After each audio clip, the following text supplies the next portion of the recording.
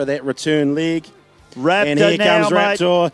Uh, they started 30 seconds behind by the iometer. It's um, not much more than 30 seconds. Oh, gee, it's getting blown around, Holy Brad. trouble. The boat Holy is loose. trouble. Frosty, hang on to it, son. Oh, Oh, slack no, hold the phone, hold the phone, hold on mate. Skier's unwrapped. Skier on the port side's unwrapped. He gets it back together. He's going to have to try and get his wrap back up. This is costing him dearly now, Bradley, as they've had to come right out of the pace. He's telling him to go. He doesn't even want to try and wrap up. He just wants to make it home. That's Danny Galea. It's a down. It's a down now from the skiers. Drama at the end of this race. They cross the line unwrapped.